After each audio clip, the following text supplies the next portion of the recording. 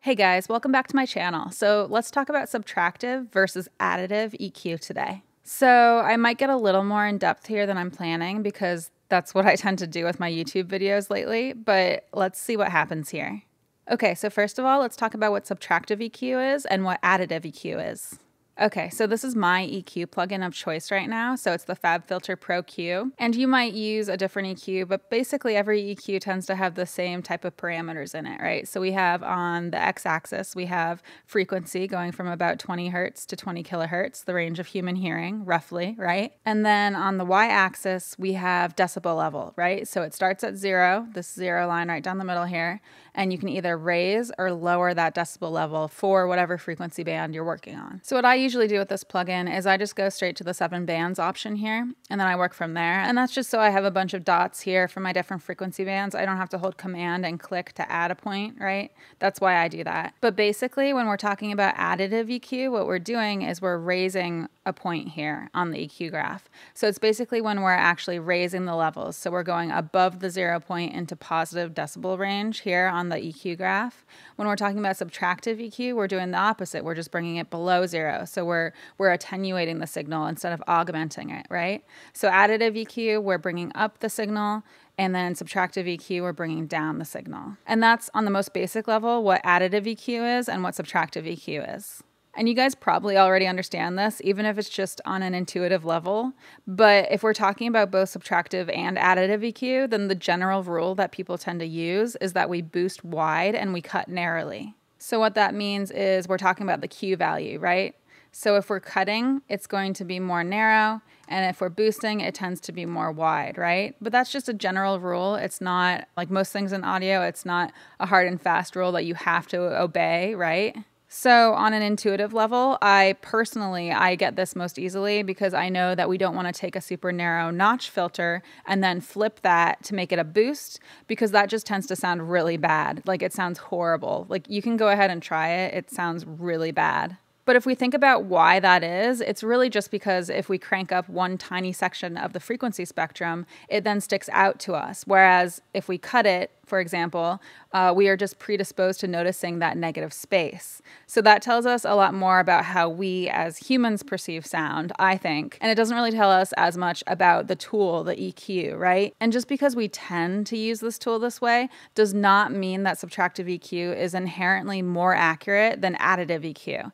And that's what some people tend to argue is that it's more accurate. But I think that's just because we tend to use it in a more quote unquote accurate way, a more honed in way when we're doing subtractive EQ. So people argue a lot about which is better, and I personally prefer subtractive EQ and I'll tend to use it more, but I do think that a lot of the arguments for and against it are fairly outdated or not really rooted in valid science or data. So I think it's okay to use either one, and I think there's a time and a place to use each. So I think the most important thing to do here is to make sure that your gain staging is good while you're using either one. So that's why, for example, when it's not obvious to me which one I should use, I'll tend to use subtractive EQ. And that's because then I don't have to worry about boosting the signal while using additive EQ and accidentally clipping the track or causing clipping farther down in my signal chain. And you know, that's one of the arguments that people use in favor of subtractive EQ. So it doesn't eat up the headroom on your tracks. But as long as you keep an eye on that and you don't clip and you compensate for any imbalances in your mix that arise from your EQ changes, I don't think it really matters if you use subtractive or additive EQ. Just don't be irresponsible about your gain staging. But you know, it might depend on what plugins or gear you're using and what you're working on or doing. So, for example, one argument for subtractive EQ is that additive EQ messes with your sound because it uses active gain. But this is based on old information and on very old EQ hardware. And most EQs used today in studios don't have this setup anymore. So, it's not exactly a wrong argument originally, but it's kind of a moot point. It's usually gonna be a moot point. And of course, if you're using a plug-in EQ, then it's all the more irrelevant. Another argument that people use in favor of subtractive EQ is that it doesn't cause as much phase shift. But most EQs nowadays don't cause much phase shift, not in that sense. But I mean, if you're concerned, you can actually test it out with whatever EQ you're using. So a bunch of people online have done tests involving running the same signal out to two different tracks. So what they do is they have one of the tracks with an EQ shelf that's boosted on one end of the the frequency spectrum. And then on the other track, they then make an identical EQ shelf that's cut on the other end of the frequency spectrum. So if you then match the levels on those two tracks and then phase flip one of them, you should notice that it's canceling itself out. If your parameters match up equally, then they should completely cancel each other out, which means that with everything else held constant, boosting or cutting is not what is causing any phasing issues with EQ. So there's also the idea that subtractive EQ sounds better or smoother, but people that make these arguments don't really seem to have an objective test that can prove this from what I've seen. But you know, let me know in the comments if you have one. I'm completely open to being wrong.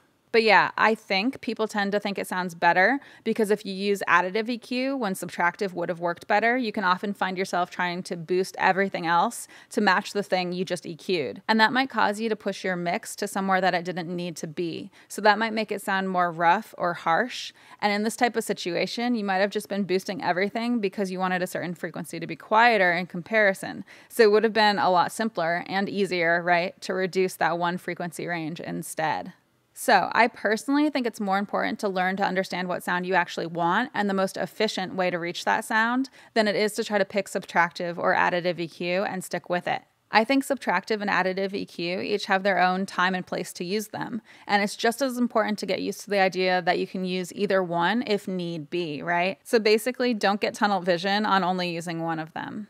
So, yeah, that's about it for today. Um, just get out there and have fun EQing. I hope this helped some of you guys, so let me know what you think in the comments below. And as always, if you like this video, please hit the like button, consider subscribing to my channel, hit the notification bell if you want to be notified when I come out with a new video. And if you want to support this channel more directly, I do have a Patreon, so it's patreon.com slash Noise. And my patrons do get access to additional content, and I'm always working to add more content to that Patreon page for my patrons. I really appreciate you guys. You guys are awesome. Thank you. So, yeah, that's it. I come out with new videos every Wednesday, and thanks for watching.